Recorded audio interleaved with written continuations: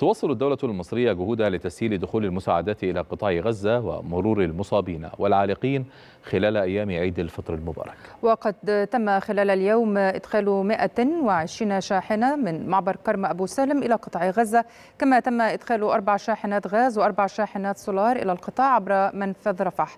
استقبل المعبر 26 مصابا فلسطينيا و62 مرافقا خلال اليوم.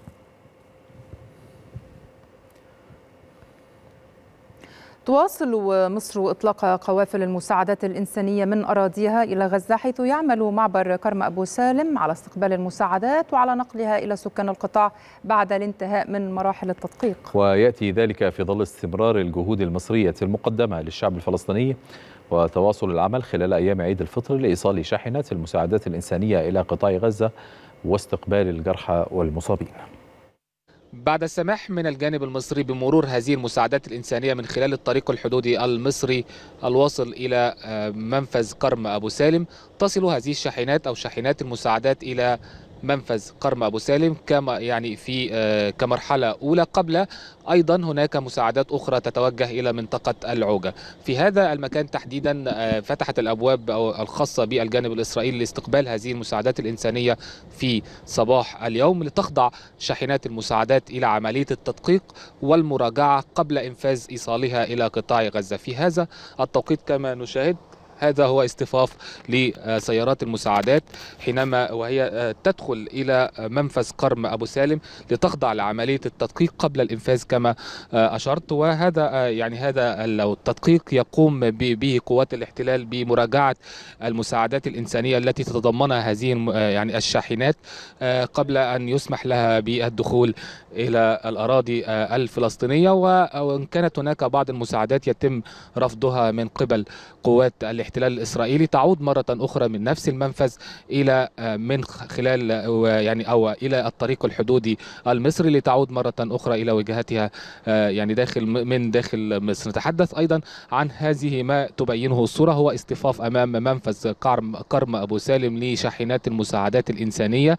قبل أن تدخل كدفعة ثانية إلى منفذ كرم أبو سالم. وهي المساعدات الإنسانية المحملة بالمواد الغذائية كما نشاهدها عبر الصورة. نتحدث أيضا عن أن هذا هو الطريق الحدودي الذي تم ذكره منذ قليل التي تأتي منه هذه الشاحنات متجهة إلى منفذ قرم أبو سالم قبل أن تخضع لعملية التدقيق والمراجعة ليتم إنفاذ إيصالها إلى قطاع غزة. وهذا هو أيضا الطريق الآخر الذي تبدأ فيه أو تستمر سيارات أو المساعدات الإنسانية به إلى منطقة العوجة.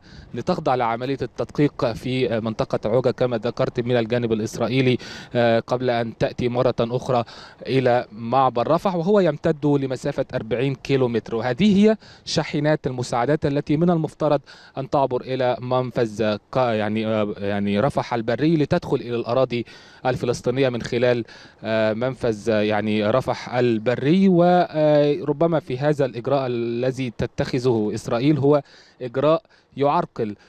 يعني إيصال المساعدات الإنسانية تحديدا من منفذ رفح البري ويقلل أعداد الشاحنات التي يعني تدخل من منفذ رفح البري.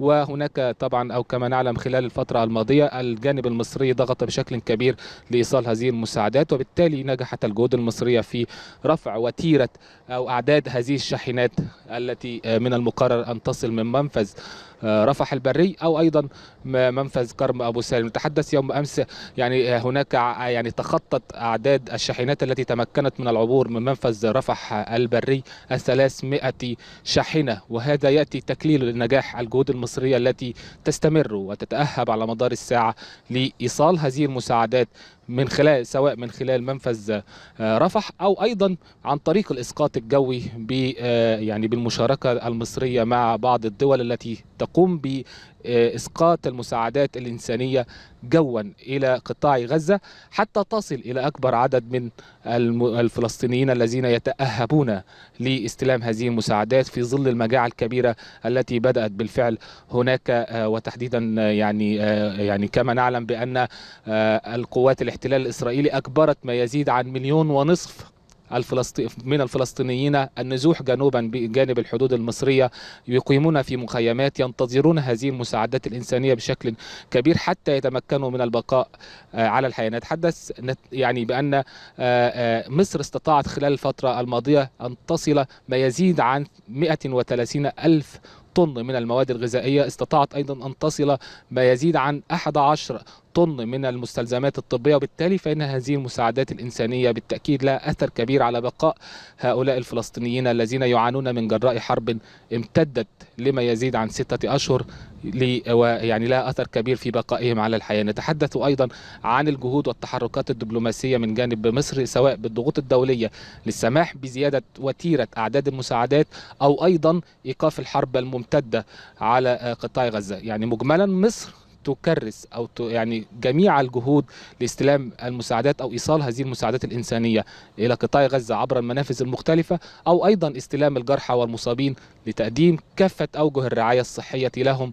ومن خلال توزيعهم على المستشفيات المصرية المخصصة لذلك أو أيضا سفرهم بالخارج من خلال مطار العريش الذي يعني من خلال مطار العريش كما ذكرت للدول التي ترغب في إجلاء المرضى والمصابين ليخضعون لعملية العلاج بالخارج. من أمام منفذ كرم أبو سالم أيمن عماد هنا القاهرة عاصمة الخبر.